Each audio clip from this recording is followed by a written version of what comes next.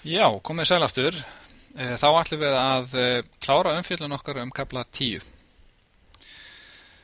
Kapli 10 er uh, þessi kynning á klasahugtakinu og í tegnslum við klasahugtaki þá er uh, til hugtak sem heitir inheritance eða erðir og það er það sem við ætlum að kynna í dag í þessum fyrirlestri. Uh, við munum fjalla miklu nánar um erðir í næsta námskeiði, í námskeiðinu Gagnarskipan en hérna fáum við sem sagt svona uh, smá kynningu á, á hugtakinu. Nú, uh, hvað vísar hugtaki erðir í? Uh, það vísar til klasa sem eru leittir af öðrum klösum. Þetta eru svo kallar afleittir klasar eða derived classes. Og afleittir klasar, þeir við leiðum það út frá öðrum klösum með því að bæta einhverjum eiginleikum við afleitu klasana. Þannig að við getum hugsað sem svo, ef við eigum klasa A, þá getum við til, búið til nýjan klasa B sem við leiðum út frá klasa A og þessi nýja klasi B mun hafa einhverja eiginleika sem að klasi A hefur ekki. Þannig aðtöðu þá að klasi B hefur alla þá eiginleika sem A hefur en að auki hefur klassi B einhverja nýja eiginleika sem að A hefur ekki. Nú, við til þess að taka dæmið, þá getum við uh, uh, notað input file ströymana. Uh, input file ströymur er klassi sem er leittur af klasanum fyrir intakströyma yfir höfuð. Þannig að það er til klassi sem að er kallaður input streams sem að uh, tekur þá til allra input ströyma en síðan er til annar klassi sem heitir input file ströymar þannig að input file ströyma klassin er leittur af klassanum input ströymar með því að bæta við ymsum meðlumaföllum eins og til dæmis open and close. Vegna þess að ef við erum með uh, skráarströym input file ströym þá þurfum við ekki að opna skrá og loka skrá. Uh, sé inn ströymurinn sem við höfum tengt við likla borð hann tilheyrir uh, klasanum fyrir alla inntaksströyma en hann hins vegar tilheyrir ekki input skráaströymum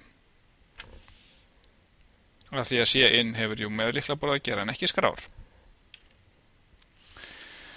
Nú uh, sé inn er vissulega uh, já, bæði sé inn og, og input fælströymar eru sem sagt intaktströymar yfir höfuð.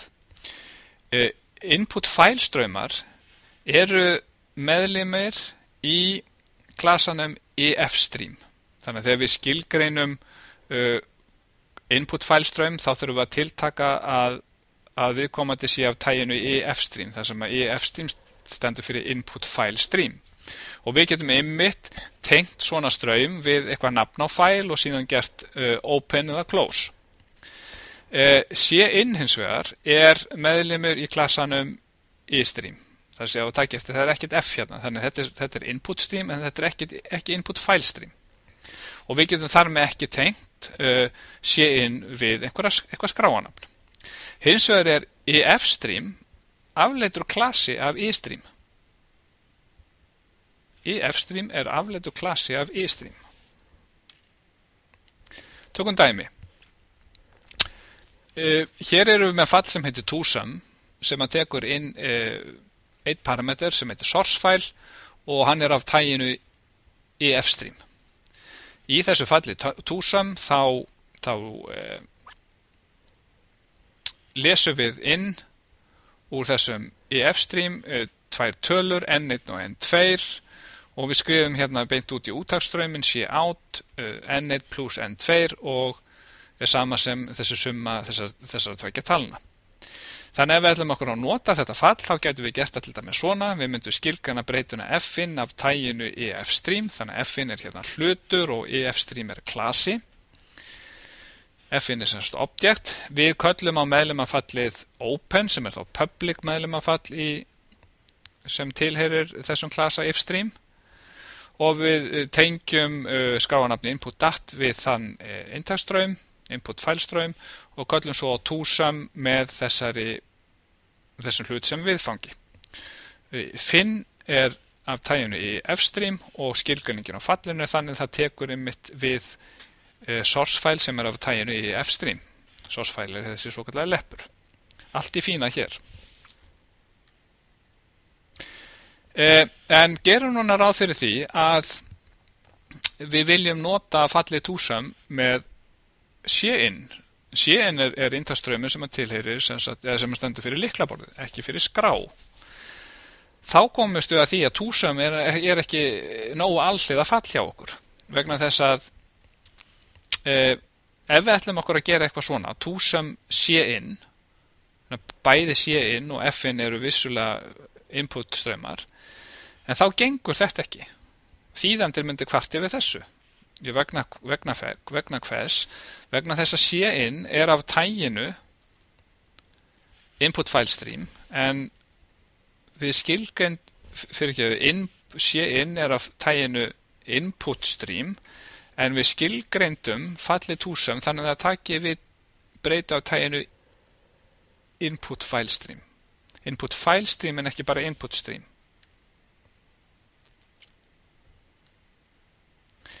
hins vegar getum við lagað skilgreininguna uh, eða yflýsinguna á uh, túsam fallin okkar til þess að það virki bæði fyrir sé-in og f-in. Hvernig myndum við gera það? Já, við getum skilgreint, hérna heitir fallið okkar nýja better túsam, það tekur núna einn e-stream, ekki í f-stream. Sjáum munin, hérna var það input file stream, núna er það e-stream eða input stream. Kóðin hins vegar eða, eða útvæslan, meginmál eh, þessara, þessa fals er nákvæmlega sama og áður. Og núna getum við kallað á better túsam með sé-in, af því að sé-in er af tæginu e-stream. En þá kemur spurningin, en getum við líka kallað á það með f-in? Já, við gerum það nákvæmlega samahátt áður, við skilgjörnum finn sem í f-stream, við tengjum uh, finn hérna við einhverja intaksgrá sem heitir input.dat og við kallum á better túsum með finn. Og aðtíða þýjandi minn ekki hvart yfir þessu. Og akkur ekki? Því það er vegna þess að raunverulega má segja að finn uh, er með tvö tök finn er input file stream. Við sjáum það hér. Hér er yfirlýsingin um það að finn sé af tæginu input file stream. Það er að segja type if stream. En fn er líka af tæginu i stream. Akkur er það? Vegna þess að e, EF stream er afleitur klasi af e stream þannig að fn hluturinn er með alla eiginleika intakstömsklasa pluss uh, þá eiginleika sem að input filestream klassi er með. Og leppur sem er af tæginu e-stream honum má skipta út fyrir viðfang sem er af tæginu if-stream vegna þess að ef-stream er afleitur klassi af e-stream það má segja að e-stream sé svo kallaður parent klassi af EF-stream og ef að í yfirlýsingu á falli stendur einhver tiltekin uh, tiltekið klasanafn eða tiltekið tag eins og hérna e-stream þá má getur sá leppur líka tekið við hlut sem er afleitur er leittur af þessum klasa hér e-stream og þar á meðal er það í f-stream.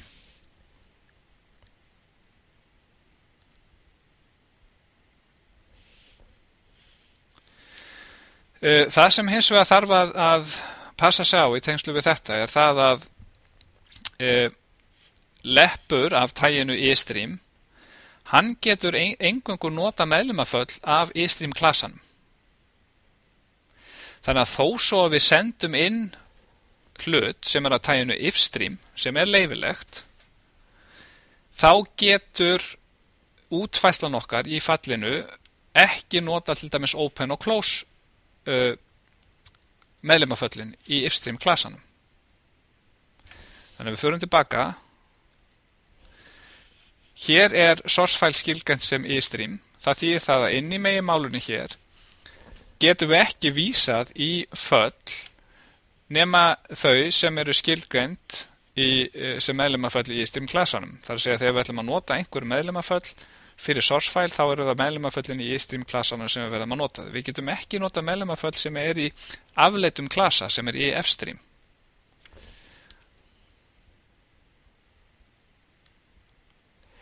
Það þýðir það, ef við þurfum að gera það, til dæmis eins og opna skrá, þá verðum við að opna þær áður en við köllum á fallið og loka þeim síðan eftir að við erum búin að kalla fallið.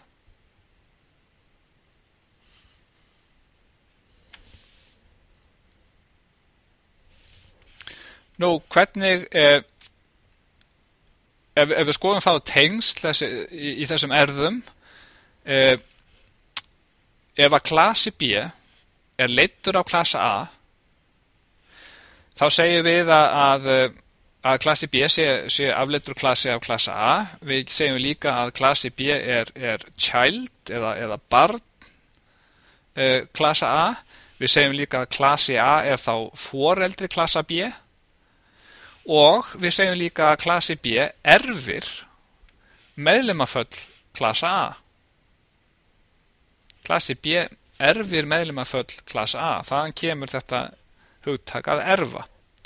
Þannig að við getum sagt sem svo þá að klasi B hann erfir eh, eiginleika klasa A erfir þær aðgerri sem bóðir upp á. Síðan er hægt að bæta við einhverjum eiginleikum við klasa B sem að útvikar þá virkni klasa B.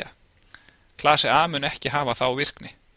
Dæmin sem við vorum að skoða hérna áðan var það að klasi A var svo kallar e-stream klasi meðan klasi B var, var uh, input file stream klasi. Input file stream klasin, hann erfir alla eiginleika uh, e-stream klasans en að auðgeru að bæta við eiginleikum við uh, input file stream klassan til dæmis að geta opna og loka skrám.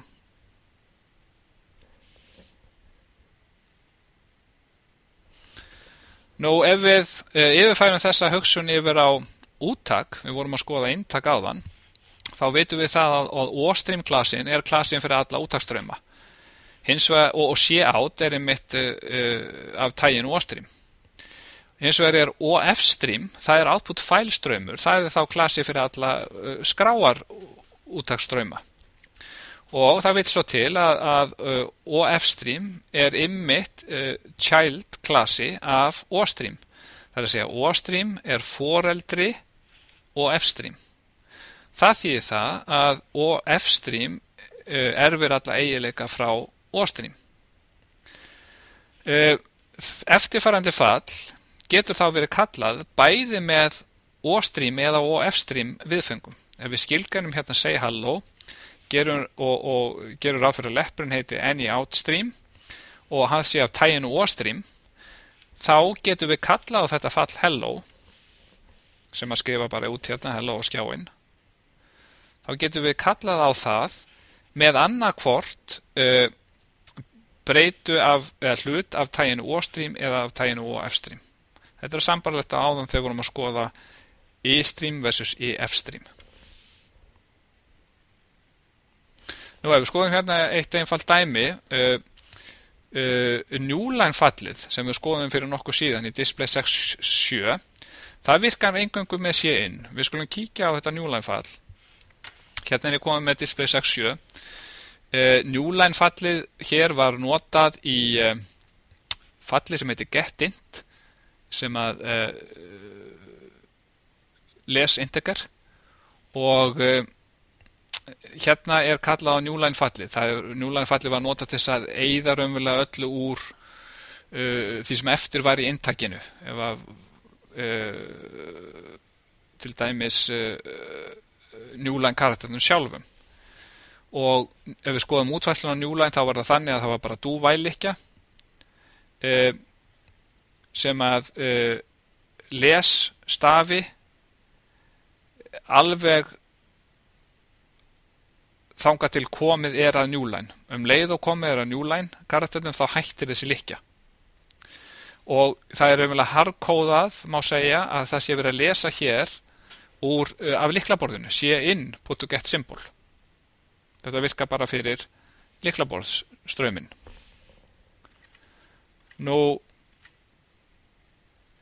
ef við ætlum að breyta þessu þannig að, að njúlænfalli virki fyrir hvaða intakströym sem er, nú þá gætu við sendt bara ströymin inn sem við uh, parameter, skilgjönd hérna leppin sem heitir instream af tæginu istream og í staði fyrir sé inn segjum við bara instream.get symbol. Þar með virkar þetta fall fyrir hvaða intakströym sem er, hvort sem það er liklaborströymur eða uh, fælströymur.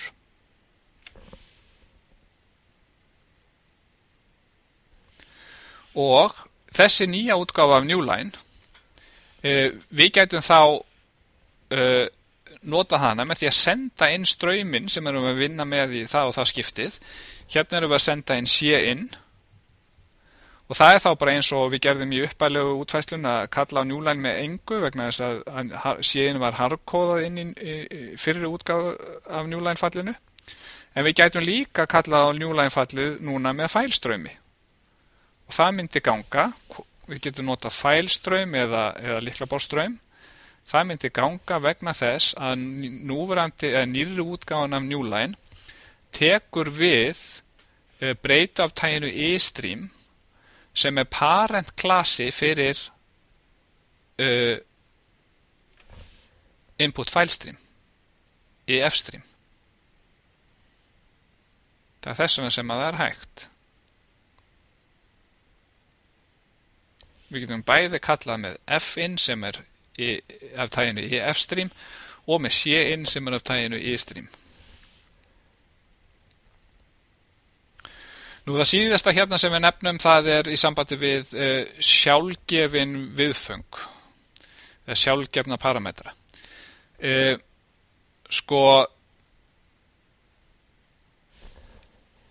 það er ekki ástæða fyrir okkur í þessu dæmi sem við erum að skoða að hafa einhverja tvær útgáður á njúlæn fallinu, aðra útgáðuna sem að uh, tekur inn engan ekkert viðfang og hérna útgáðuna sem að tekur inn ströym. Við getum öfulega búið til svona sjálfgefi gildi í listanum yfir parametra og sjálfgefna gildið er þá, er þá vali ef að ekkert uh, viðfang er sendt. Þannig við gætum breytt uh, hettatum á njúlænfallinu þannig að það taki inn hérna inn ströymin okkar og það er að tæja inn í stream og við segjum sama sem sé inn. Það er að segja ef að njúlænfallið, ef að kallar á njúlænfallið með engum parameter þá er sé inn notað. Það er það sem þessi málskipan þýðir. Ef við uh, gefum uh, lepp eitthvað gildi, þá er þetta svo kallar sjálfgefna gildi sem er þá nota ef að kalla er á fallið án þess að tilgreina viðkomandi parameter. Og þetta er hægt að uh, útfæra með því að nota að vera með mörg sjálfgefni gildi það, það er að segja ef að tilteknin leppar hafa eh, einhver sjálfgefin gildi en aðrir hafa ekki. Eh, en þá þurfum við að setja þessa leppa sem eru með sjálfgefin gildi í endan á parameterlistanum og